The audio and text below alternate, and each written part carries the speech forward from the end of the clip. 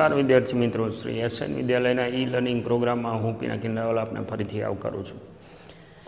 મિત્રો, આમ જુઓ તો આપણું જે ચેપ્ટર પાંચ છે, એમાં મુખ્યત્વે જે વસ્તુ આપણે સમજવાની થતી હતી, એ મોસ્ટ ઓફ આપણે સમજી લીધી છે.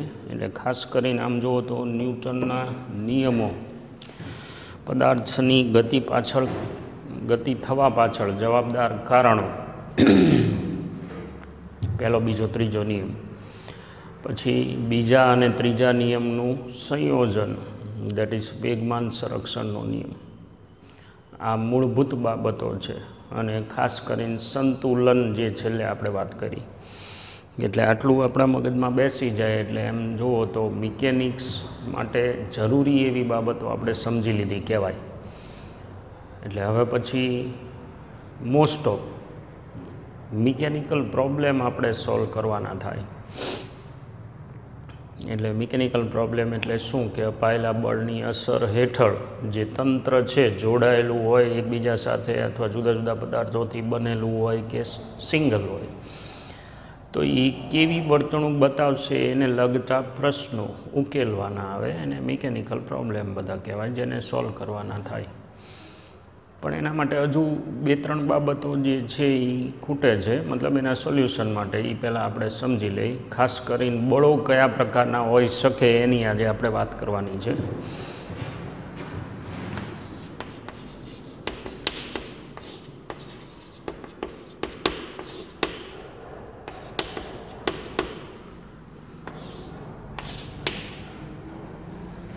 લેસન નંબર આપણું ફાઇવ આવશે. most probably let me check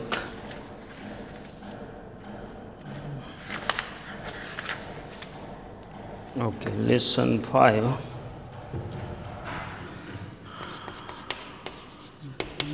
યંત્રશાસ્ત્રમાં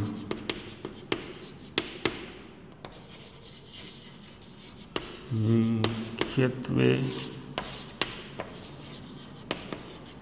જવાબદાર બળો. કયા પ્રકારના બળો હોઈ શકે અને કેવી રીતે લાગી શકતા હોય એની ખાસ વાત કરવાની છે. હવે એ બળોના વિશે જો આપણે વાત કરી. આપણે શરૂઆતમાં કીધું છે કે કોઈ પણ બળો હોય, બાહ્ય બળ, બે પ્રકારના હોય. સંપર્ક બળ અને ક્ષેત્રબળ. હવે ક્ષેત્રબળ જે છે એમાં ગુરુત્વાકર્ષી બળ છે. પછી વિદ્યુત ચુંબકીય બળ છે. ન્યુક્લિયર બળો છે. આ બધા બળો જે છે એ સંપર્ક વગર લાગે છે, જેને ક્ષેત્રબળના લિસ્ટમાં મૂકીએ છીએ આપણે, સંપર્ક વગર લાગતા. આ જે છે એ શબ્દ પોતે એની વ્યાખ્યા છે. હવે આમ જુઓ તો પૃથ્વી પરનો દરેક પદાર્થ ગુરુત્વાકર્ષી બળની અસર હેઠળ તો છે જ, બરાબર ને? ક્યાંક ને ક્યાંક એના ઉપર કોઈ પણ રીતે ગુરુત્વાકર્ષી બળ તો લાગતું જ હોય, એટલે ક્ષેત્રબળની તો હાજરી છે જ. વિદ્યુતીય અને ચુંબકીય બળોને મિકેનિકલ પ્રોબ્લેમ સોલ્વ કરવા માટે આપણે ખાસ ધ્યાનમાં લેવાની જરૂર નથી. હકીકતમાં બળો જે આપણે ચાર મૂળભૂત પ્રકારના કીધા હતા એમાંના મુખ્ય બળ છે. પણ યંત્રશાસ્ત્ર એટલે કે ગતિને લગતી બાબતોમાં રોલ જે છે એ ગુરુત્વાકર્ષી બળનો દેખીતો છે. આનો નથી એમ નથી કહેતા, દેખીતો છે. શબ્દ પકડજો ટેક્સ્ટ બુકની ભાષા થોડીક તમને મિસગાઈડ કરે એવી છે. ગુરુત્વાકર્ષી બળનો રોલ દેખીતો છે, મતલબ એની ઇફેક્ટ દેખાઈ આવે. વિદ્યુતીય બળ ને ચુંબકીય બળો જે છે એ એટલા બધા સિગ્નિફિકન્ટ નથી. મતલબ કે વ્યવહારમાં તરત જ દેખીતા બળો નથી. હકીકતમાં સંપર્ક બળ જે છે ને એ પોતે માઇક્રોસ્કોપિકલી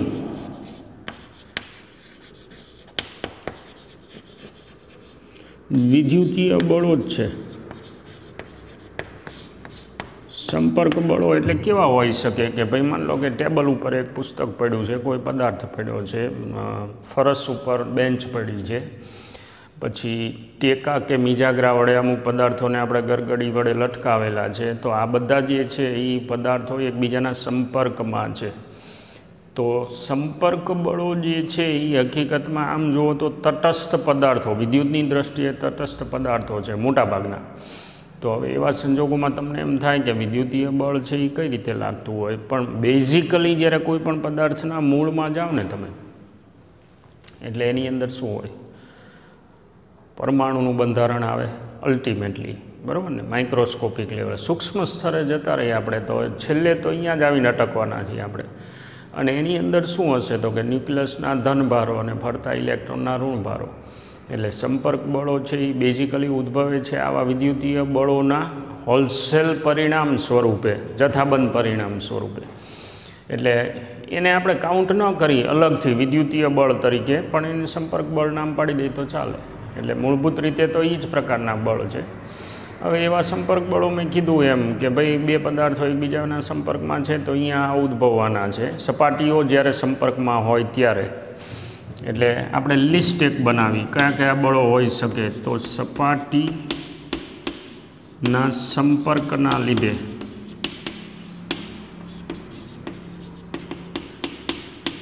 લાગતા સંપર્ક બળો.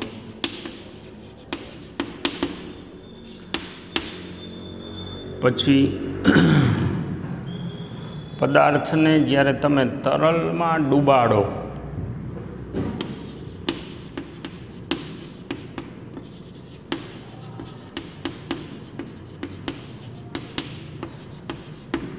ખાસ જાતનું બળ લાગશે ઉત્પલાવક બળ.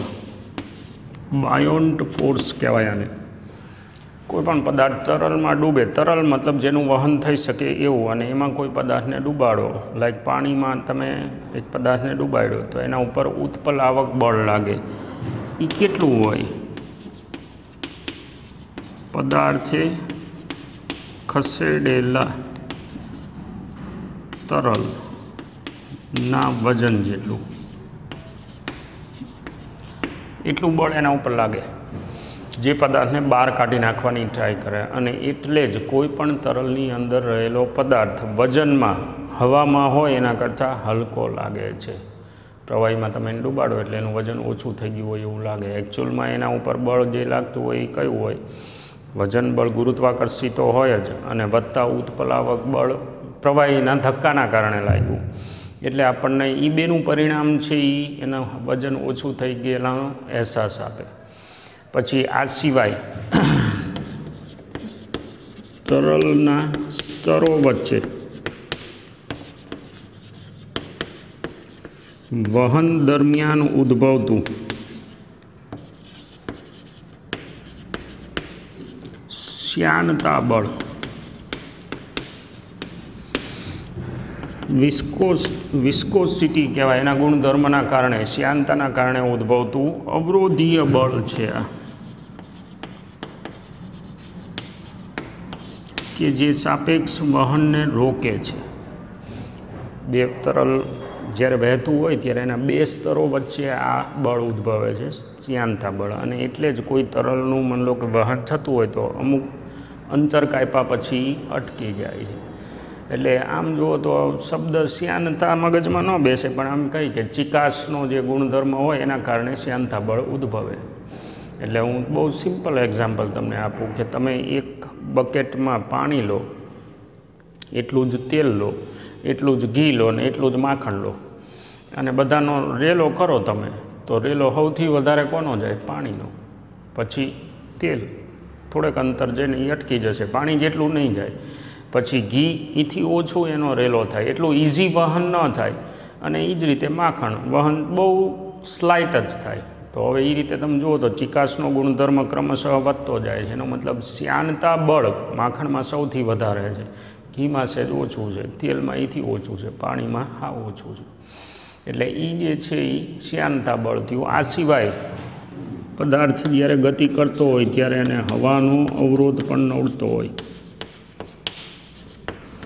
આ બધા બળો છે ને બાહ્ય બળોના લિસ્ટમાં આવે. ફક્ત પદાર્થને તમે બળ આપો એટલે એની અસર હેઠળ પદાર્થ ગતિ કરવા માંડે એ દેખાય આપણને, પણ અંદર કાઉન્ટ કરેલા હોય આ બધા બળ. એની ઉપરવટ જઈ અને પદાર્થની ગતિ આપણે કરાવડાવી છીએ એટલે જ્યારે આપણે મિકેનિક્સના પ્રશ્નો સોલ્વ કરતા હોય ત્યારે આ બધા જ બળો છે એને ધ્યાનમાં લેવા પડે છે આપણે. બીજું, આ જે સપાટીના સંપર્કના લીધે લાગતા બળો હોય, તો એમાં બે પ્રકારના છે. એક સપાટીને લંબ જે બળ લાગે એકચ્યુઅલમાં પ્રતિક્રિયા બળ છે. શું કામ? તો કે બળો જે છે એ હંમેશા જોડીમાં ઉદ્ભવે છે. ત્રીજા નિયમના આધારે આપણે આ વાત કરેલી છે. તો બે સપાટી જ્યારે સંપર્કમાં આવે ને એકબીજાના, ત્યારે પ્રતિક્રિયા રિએક્ટિવ જે ફોર્સ છે જોડી એ પ્રતિક્રિયા બળ છે અને આપણે લંબ બળ એવું નામ પાડશું. અને સપાટીને સમાંતર એવું બળ જે હોય,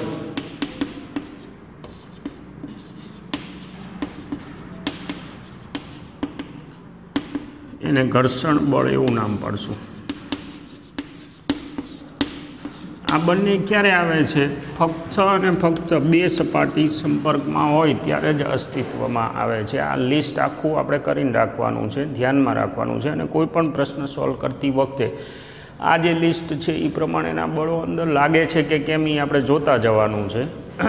એટલે આપણે આ પહેલાં એનું લિસ્ટ બનાવીએ છીએ. આ સિવાય સ્પ્રિંગ વડે જોડાયેલા પદાર્થ.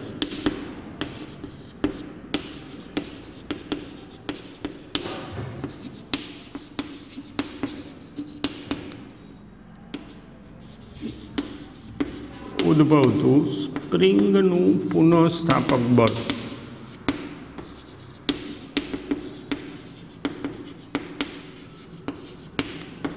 રેસ્ટોરિંગ ફોર્સ સ્પ્રિંગનું પુનઃસ્થાપક બળ. સ્પ્રિંગ વડે ધારો કે પદાર્થને જોડેલો છે. એક એક્ઝામ્પલ આપી દઉં તમને. માનો કે એક મજબૂત દિવાલ સાથે એક સ્પ્રિંગ બાંધી દીધી છે આપણે અને એની સાથે એક કોઈ લાકડાનો બ્લોક કે એવો કોઈ પદાર્થ છે એ બાંધી દીધો છે. અત્યારે આ એની નોર્મલ પરિસ્થિતિમાં છે. સરળતા ખાતર એવું ધારી લઈ કે નીચે જે સપાટી છે અહીંયા કોઈ જાતનું ઘર્ષણ બળ કે એવું કંઈ નથી. બરાબર? અવરોધીય બળ નથી. ભલે સપાટી સંપર્કમાં છે, ધારી લીધું છે આપણે કે લીસી સપાટી છે. હવે આપણો સામાન્ય અનુભવ છે કે જો હું આ પદાર્થને ખેંચું, તો મને ઇઝી નહીં પડે. હું એને બળ જ્યારે આપીશ ત્યારે પેલી જે સ્પ્રિંગ જે છે ને એ એના આકારના કારણે એનામાં મૂળ સ્થિતિ જાળવી રાખવાનો ગુણધર્મ છે.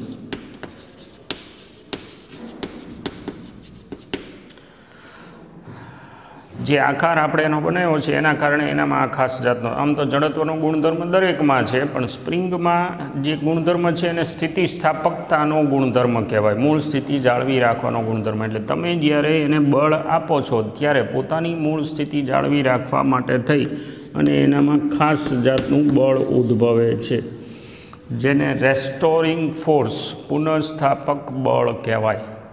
અને પુનઃસ્થાપક બળ જે છે એફઆર ને સ્પ્રિંગની લંબાઈમાં થતા વધારા સાથે લેવા દેવા હોય.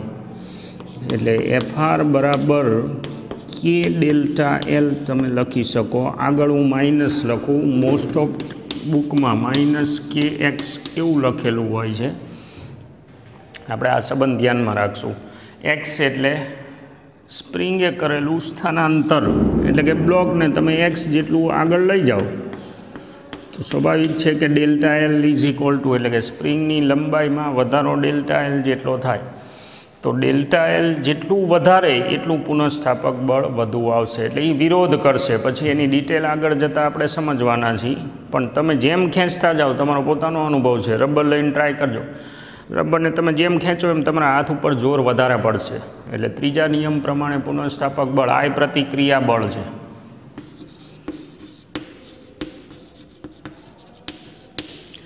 તમારા હાથ ઉપર જોર છે એ વધતું જશે. એટલે જેમ જેમ તમે ખેંચતા જાઓ એમ હાથ ઉપર લાગતું જોર છે એ વધતું જાય. એટલે એ સમચલન લખ્યું આપણે. એક અચળાંક મૂકેલો છે કે જેને સપ્રમાણતાનો અચળાંક અથવા સ્પ્રિંગનો બળ અચળાંક કહેવાય.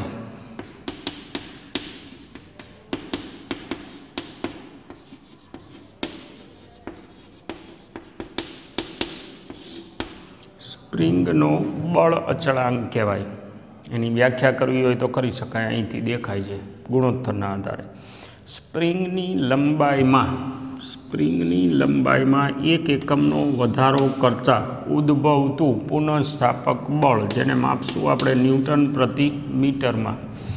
સ્પ્રિંગની લંબાઈમાં એક એકમનો વધારો કરતાં ઉદ્ભવતા પુનઃસ્થાપક બળને જે તે સ્પ્રિંગનો બળ અચળાંક કહેવાય. જેનો બળ અચળાંક મોટો, એને હાર્ડ સ્પ્રિંગ કહેવાય.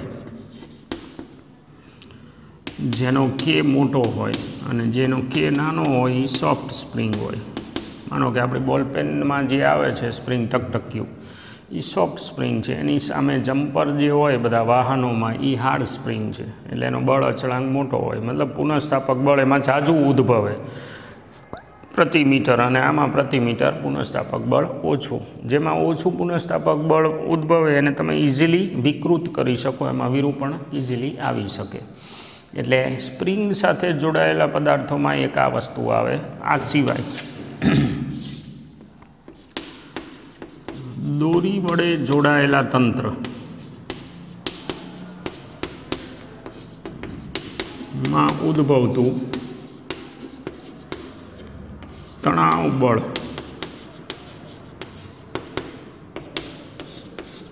ટેન્શન એને કહેવાય. જે મૂળભૂત રીતે, આમ તો જો કે બધા મેં કીધું એમ, વિદ્યુતીય બળો જ છે. હવે એ કઈ રીતે ઉદ્ભવે એ આપણે જોવાનું છે. માનો કે કોઈ એક પદાર્થને એક તમે છત સાથે આવી રીતે એક દોરી લટકાવેલી છે. જ્યાં સુધી દોરી લટકાવેલી હોય ત્યાં સુધી જુઓ.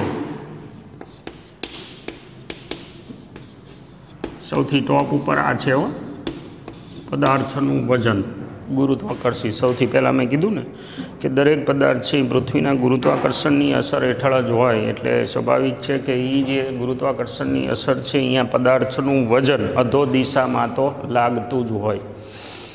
બાકી જ્યાં જ્યાં સંપર્ક આવે અહીંયા આ બે જાતના બળ. પછી તરલમાં ડૂબવું હોય તો ઉત્પલાવક બળ, ગતિ થતી હોય તો શ્યાનતા બળ, હવામાં ગતિ થતી હોય તો હવાનો અવરોધ. સ્પ્રિંગથી જોડાયેલું હોય તો સ્પ્રિંગનું પુનઃસ્થાપક બળ પદાર્થ ઉપર લાગતું હોય અને હવે આ ટેન્શન કઈ રીતે ઉદ્ભવે? માનો કે દોરી છે અને તમે લટકાવેલી છે, લૂઝ હશે. લૂઝ હશે એટલે એનો મતલબ શું? ફરફર થતી હોય. કારણ કે દોરીનું વજન એટલું બધું ન હોય. હવે તમે એના છેડે પદાર્થ બાંધો. જેવો તમે વજનદાર પદાર્થ બાંધો એટલે આ દોરી ટાઈટ થવાની. એ ટાઈટ થાય એટલે એમાં જે ઉદ્ભવેલું છે એને તણાવ બળ કહેવાય. શેના કારણે આવે છે? આ પ્રતિક્રિયા બળ જ છે. રિએક્ટિવ ફોર્સ છે. માનો કે પદાર્થનું વજન અધો દિશામાં અસ્તિત્વમાં હોય. હવે એની સાથે તમે દોરી બાંધેલી છે. એટલે દોરીના છેલ્લા બિંદુ પર આખા પદાર્થનું વજન આવે છે. એટલે એ દોરીના છેલ્લા બિંદુને નીચે લઈ જવાની ટ્રાય કરે છે. છો, દોરીનો છેલ્લો બિંદુ એટલે છેલ્લો કણ. હવે દોરી જે છે એના દરેક કણ.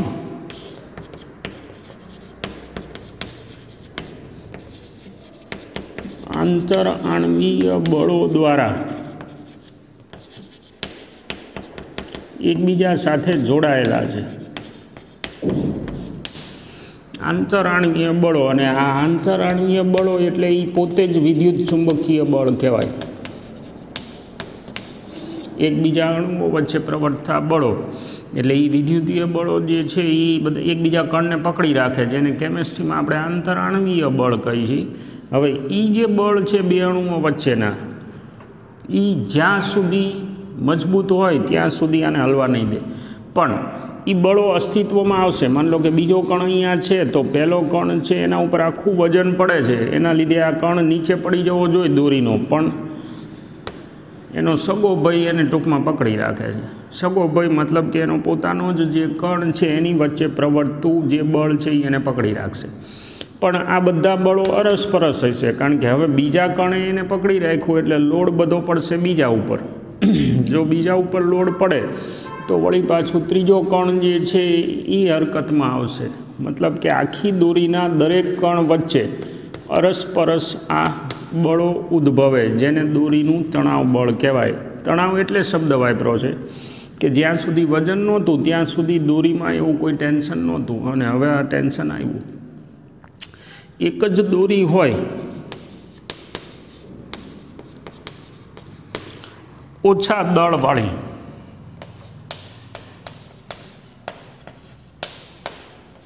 તો એમાં દરેક બિંદુએ તણાવ બળ છે એ સમાન હોય. આ વિધાન આપણે ધ્યાનમાં રાખવાનું છે. એક જ દોરી હોય અને જેનું દળ દોરી, ટૂંકમાં દોરડું કે રાંધવું નહીં, તો એવા સંજોગોમાં એના દરેક બિંદુએ તણાવ બળ છે એ સરખું જ આવશે. જોડાયેલી જ્યાં સુધી આખી દોરી હોય, ત્યાં સુધી એના દરેક બિંદુએ તણાવ બળ સરખું આવશે. આટલા બળ સામાન્ય રીતે આપણે ધ્યાનમાં લેવાના આવે જેમાંના મોસ્ટ ઓફ રિએક્ટિવ છે. એકચ્યુઅલ બળ છે એ આવડું આવે મેં પહેલાં કીધું એમ, ગુરુત્વાકર્ષણની અસરમાં દરેક પદાર્થ હોય, એટલે પદાર્થનું વજન તો હોય હોય ને હોય જ. અને પછી જે તે સપાટી સાથે એ સંપર્કમાં આવે પદાર્થ, જો આવે તો પછી આ બળો આપણે કાઉન્ટ કરવાના આવે. કેવી રીતે એ આપણે જોવાના છે બધું? અને પછી બળોના લિસ્ટ તૈયાર થાય એટલે એમાંથી પ્રોબ્લેમ સોલ્વ કઈ રીતે થાય, ન્યૂટનના નિયમો અને સંતુલનના નિયમને ધ્યાનમાં રાખીને, વેગમાન સંરક્ષણને ધ્યાનમાં રાખીને એ આપણે ગણશું.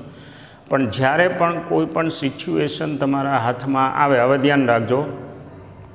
આ જે મુદ્દો છે, આ બળોનું જે લિસ્ટ છે એ અત્યારે કેમ મેં કીધું કે ભાઈ ગુરુત્વાકર્ષણની અસરમાં પદાર્થનું વજન ભવિષ્યમાં આપણે વિદ્યુતીય બળોને અત્યારે નથી કાઉન્ટ કર્યા મેક્રોસ્કોપિક લેવલે મતલબ સ્થૂળ સ્તરે. પણ માનો કે જ્યારે પણ એ આપણા ટચમાં આવે ત્યારે એને અંદર ઉમેરી દઈશું એટલે આ જે છે ને એ ભવિષ્યના દરેક પ્રશ્નો છે એને સોલ્વ કરવાનો પાયો છે.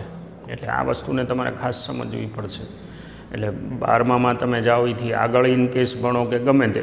બળો આવી રીતે લાગે કોયડા, મતલબ પ્રશ્નો કઈ રીતે સોલ્વ થાય સિચ્યુએશન કઈ રીતે સોલ્વ થાય, આ મુદ્દો આખો ગંભીરતાથી તમારે સમજવો પડશે. હથિયાર બધા આપણી પાસે છે. હથિયાર એટલે કેવા? લાઈક સદીશના સાદુરૂપ સદીશની ગણતરી, ન્યૂટનના નિયમો રાશિઓ વચ્ચેના આંતર સંબંધો એકાબીજી રાશિ આપણને કઈ રીતે મળશે? લાઈક સ્થાન, વેગ, પ્રવેગ કઈ રીતે મળશે? બળો જે છે એના પ્રવેગ સાથેના સંબંધ શું હોય એની આપણે ચર્ચા કરી લીધી છે. સંતુલન કોને કહેવાય? આ વાત કરી લીધી છે. એટલે લગભગ મિકેનિક્સ સમજવા માટેનું દરેક હથિયાર આપણી પાસે છે. એટલે હવે એ બધા હથિયાર આપણે હમણે રાખવાના છે અને પ્રશ્નો સોલ્વ કરી રાખવાના છે. લિસ્ટ ખાસ ધ્યાન રાખજો. એવું લાગે તો એક પત્તામાં આ આખું લિસ્ટ છે એક બાજુ મૂકી રાખજો, જેથી કરીને પ્રશ્નો સોલ્વ કરો ત્યારે તમને કોઈ જાતનો વાંધો ન આવે. હવે ડિટેલમાં આ બળને આપણે સમજવાનું છે. ડિટેલમાં ઘર્ષણ બળ, કારણ કે એક મહામાયા જેવું છે. ઘર્ષણ બળ છે એ છે રિએક્ટિવ ફોર્સ પણ એને ડિટેલમાં સમજવું પડે. કારણ કે ગતિ કરતા પદાર્થો મોટે ભાગે સપાટીના સંપર્કમાં જ હોય. હવાનો અવરોધ હોય છે, પણ એ અવગણ્ય હોય એવો હોય છે. પણ ઘર્ષણ બળ તો અસ્તિત્વમાં હોય જ છે. જેમાં આપણે વજન બળની વાત કરી, એવી રીતે સંપર્કમાં સપાટી આવે જ આવે. પદાર્થ, માની લો તમે પોતે દોડતા હોય, તમારા પગ છે એ જમીન સાથે સંપર્કમાં હોય જ. વાહન દોડતું હોય તો એનું ટાયર છે એ રોડ સાથે સંપર્કમાં હોય જ. એટલે આપણે ઘર્ષણ બળને વધારે ડિટેલમાં સમજવાનું છે, પણ એના માટે આપણે નેક્સ્ટ લેક્ચરની રાહ જોઈશું. લિસ્ટ બનાવીને રાખજો. ટેક્સ્ટ બુકમાં એક વખત વાંચીને રાખજો. મળશું. Thank you